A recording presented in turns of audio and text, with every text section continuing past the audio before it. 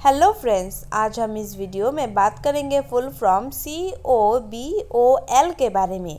C O B O L C O B O L C O B O L का full form होता है common business oriented language common business oriented language इसका हिंदी में अर्थ हुआ सामान्य व्यापार उन्मुख भाषा।